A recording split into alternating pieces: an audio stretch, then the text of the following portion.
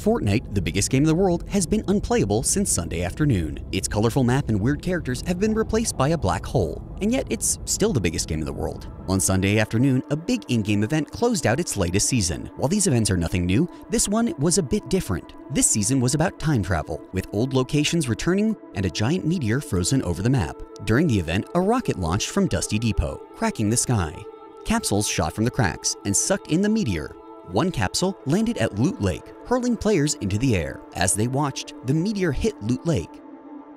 Familiar Fortnite items like tomato heads and the battle bus were pulled into the explosion. Eventually, the whole map was sucked in, leaving only a swirling black hole.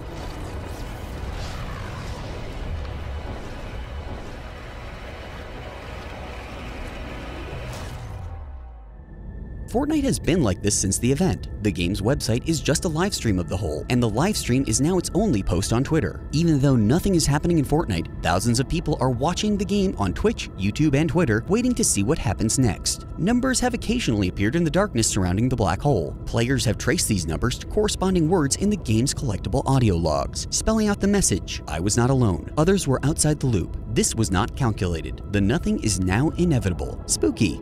If you get bored watching numbers, there's a hidden minigame that can be accessed in Fortnite by entering the Konami code. The code is, of course, up up, down down, left right, left right, BA, start, though the specific buttons depend on your platform. It's simple and short, but hey, it's something to do. Developer Epic talked up this event, heralding it as, quote, the end. While it's unlikely Fortnite is going offline forever, something has definitely changed.